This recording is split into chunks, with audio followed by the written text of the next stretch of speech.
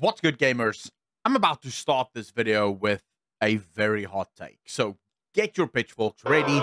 I'm fully prepared for that. But Shadowlands should have been and could have been a phenomenal expansion. I know many of you might be sitting there going, What is he talking about? Well, let me expand on that a little bit. The lore of Shadowlands was actually phenomenal. It was actually really good. In fact, I would go so far as to say the lore in BFA and Shadowlands was phenomenal. And I can back this up with actual facts, by the way. What was the most exciting time in both BFA and Shadowlands from a lore perspective? The launch. Let him cook. Like, don't tell me that anyone wasn't excited for the launch of Shadowlands. Of course they were. Shadowlands broke records in terms of sales. BFA actually set up uh, the records that Shadowlands crushed. People were super excited. And the reason they were excited was the lore. Now, many of you might be saying, but Accolonn, I thought you said that the lore in Shadowlands sucked. And I did. I, I can't I can't deny that. But since then, I've done a lot of reading, uh, specifically reading about how to write, how to write good stories, what does a good story look like, and something started to emerge that previously I would always just sort of voice as you have world building and then you have individual micro stories.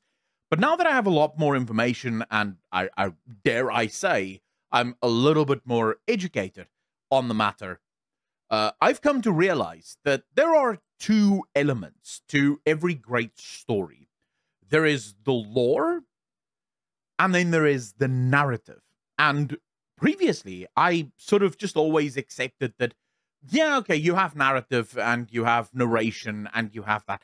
But really, it's the lore, right? Everything is about the lore and then the explanation of these two things. Now, in order for you to understand why I say Shadowlands was actually a phenomenal expansion, or could have been a phenomenal expansion, and from a lore perspective was a phenomenal expansion, you first have to understand what the difference is between lore and narrative. Now, I hope that Holy, you know, will have something really cool on the screen here to help you understand all of this.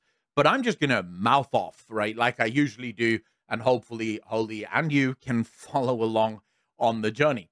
All right, so lore is a point based system, and I'll explain it with an example. If you ask me, what is the lore of World of Warcraft? In other words, you came to me and you said, okay, bro, what is World of Warcraft? Why should I play World of Warcraft? I will go, right, World of Warcraft, it's Azeroth. She's a planet. She's also a Titan kind of thing. But we live on this planet, and uh, this planet is in the Great Beyond. And around the Great Beyond, there's these cosmological forces. We don't know much about them, but we know what they are, and we know that they attack us sometimes. But some of them seem to help us, although we're not sure exactly about that. Uh, but you have the Void, and there are these giant shadow monsters, and we have demons that constantly attack us. And then we have the Horde, which is like orcs and taurens and trolls and goblins and blood elves and undead and shit. And then we have the Alliance on the other side, which is like humans and dwarfs and, you know, all the normal races, as you will. And, and they are sort of at war, but not really, not anymore at least.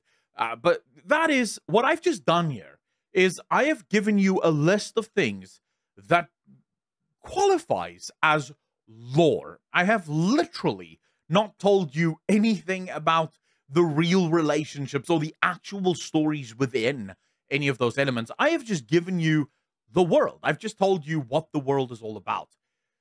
That's the lore.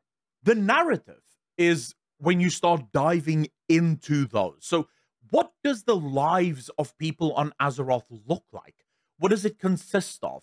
It's constant war. How does that war affect the different people, the relationships between different people? Why is the Horde and the Alliance at war with one another? Talk to me, BlizzCon. Now, you'll see why this video links up with Dragonflight in a second, because I happen to believe that Dragonflight was also a phenomenal expansion from a lore perspective. All you have to understand is that lore and narrative have an incredibly tight knit relationship. Lore can exist without narrative.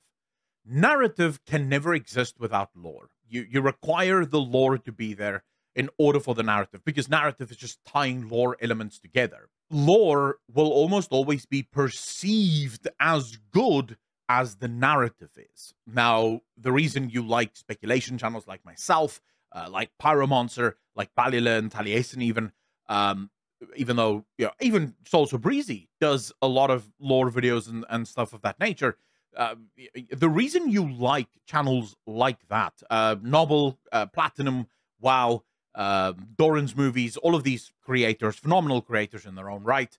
Um, the reason you like watching their content is they create narratives around the lore. Nobbel, for example, famously creates lore videos.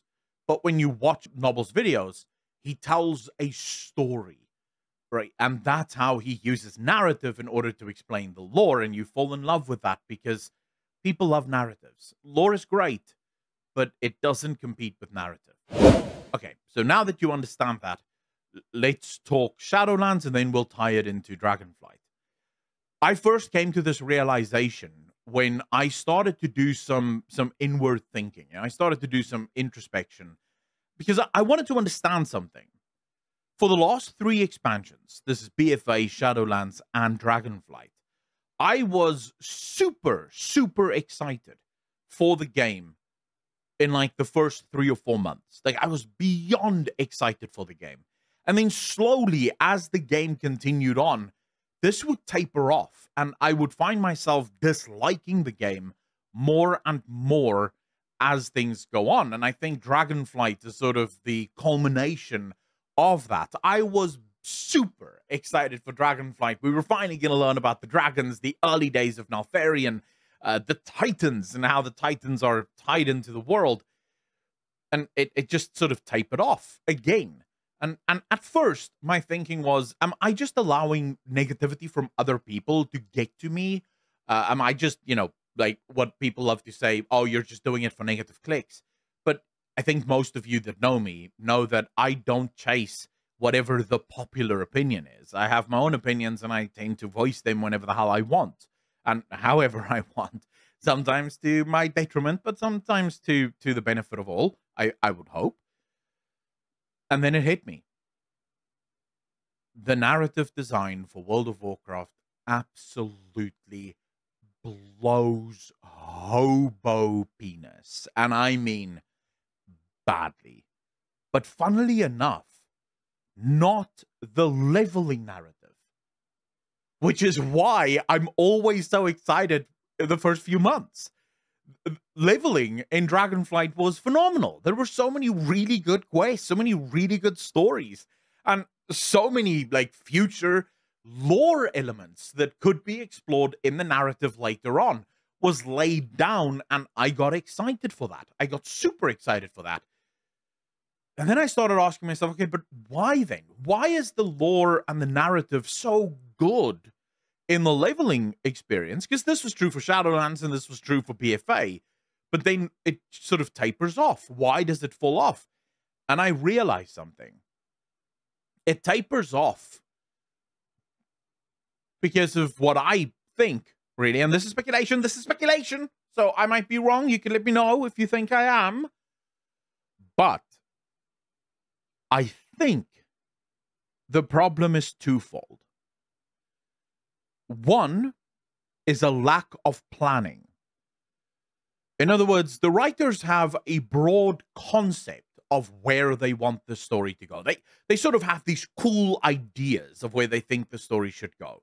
And then they start writing uh, these cool ideas. They start creating the narrative around these cool ideas. And it really works in the leveling experience because they have a ton of time. And this is also seemingly one of the few times where the writers and the quest designers work very closely together and they ensure that the the starting point the foundation from which we play really has the opportunity to breathe and to to expand and to take up the space that it requires in order to tell a good story. Because that's the thing. Stories require time. You, can't just rush a story. Uh, you you can't take something like the Lord of the Rings and turn it into a ten page essay and think that that ten page essay is going to be anywhere near as good as the actual Lord of the Rings book. You can do a synopsis and you can sort of give me all the broad stroke elements of the book, but you'll never be able to capture the magic of the book. Stories take time. And they usually have a lot of time. They usually have about two years at the start to create the narrative for the questing experience. So the second thing that I think really ruins it is time. You see, once we get into the actual patch cycle of things, we already know that World of Warcraft has a team two that designs all of the patch content, and one might argue that team two is a lot smaller than team one, at least how it used to be. So now the narrative designers, the actual writers of the game, they're forced to take shortcuts. They're forced to cut down on the story because they don't have 200, 300 quest designers all working and being able to design as many quests as they require. And so they're forced to pick and choose their battles a lot more carefully. They're forced to skip over certain crucial exposition points because they know that they want Vyranoth to join the dragons. Vyranoth needs to join the dragons. But in order to get that story to a place where it kind of makes logical sense that Vyranoth would join the dragons, it requires a lot more developers and a lot more time than what they actually have available to them. And so they're forced to skip over these periods because, again, lack of planning and a lack of time.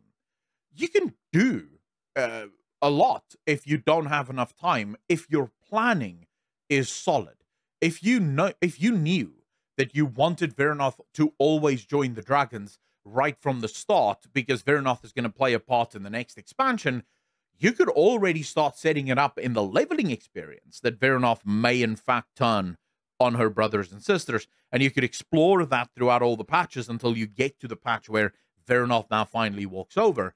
But that only happens if you have that plan ahead of time and you know that that is where you're about to go. I would argue that in Shadowlands, BFA, and in Dragonflight, it was that element of the story that was completely lost. They didn't know where they wanted to go with the story. They made it up as they went along, but maybe they had broad ideas of what, what should come next, but they made it up as they went. And probably a lot of that was influenced by the design and development of the next expansion. As the narrators were now writing the next expansion they were like oh shit. We actually want to use Vyranoth here so let's let's let's let's save her. Let's bring her over to the dragons because that would be really cool. And now you have a bunch of small little rewrites that really interfere with your plans and no expansion is more evident of rewrites than shadowlands. We've gone through this multiple times in the past there's been multiple videos where I have discussed all of the ways in which Shadowlands was rewritten. And, and it's so clear to see for anyone that followed the lore back then. So why am I excited for The War Within and for Midnight and for The Last Titan? Well, because remember what I said, the, the main problem in what I argue is Dragonflight, Shadowlands, and BFA was a lack of planning. The lack of time, yes, that plays a role, but that only really plays a role if you don't know exactly where you're going, if you don't have a plan. Well, we know that the war within uh, Midnight and the Last Titan, we know that there is a plan. We know that Chris Metzen has already designed and developed the plan. They know exactly what the story is going to be for the Last Titan all of those elements have already been planned out. So now they are afforded a lot more time, you see, because even if they don't have as much time per patch in order to get the story out, because they know already now what the story is going to look like a year from now or two years from now, they can already start exploring the things that they need to happen, the exposition of the story from patch one, from the leveling experience, they can already start exploring the world. And I do believe that this is going to be a phenomenal resurgence in the storytelling of World of Warcraft because one thing became clear to me the writers of World of Warcraft are a bunch of gardeners. Now, gardening is a term in writing. I'm not going to go into it. I, I went into it in the last video. But basically, gardeners just sort of write where the story takes them. The problem is that if the story takes you in a direction that the next expansion isn't going to go in, now you have problems because you've sort of written yourself into corners here, and then you have to skip a bunch of exposition in order to get yourself out of those corners. But now they have an architect, and gardeners in video games specifically do phenomenally well when they have an architect that creates the narrative design. The reason I made this video, the reason I, I, I you know, sort of spoke about this is in my video yesterday where I spoke about the World Soul Saga. Uh, a lot of comments was actually, oh, they still have the same writing team. That's not going to save anything. Who cares about this at all? And I sort of wanted to explain why, even with the exact same writing team, we could actually end up with much better stories this time around than what we've had for the last three expansions. Because fundamentally, they now have a plan. They know exactly where they're going to go. And gardening writers, when they have that plan, when that plan is completely laid out for them, can do phenomenal work.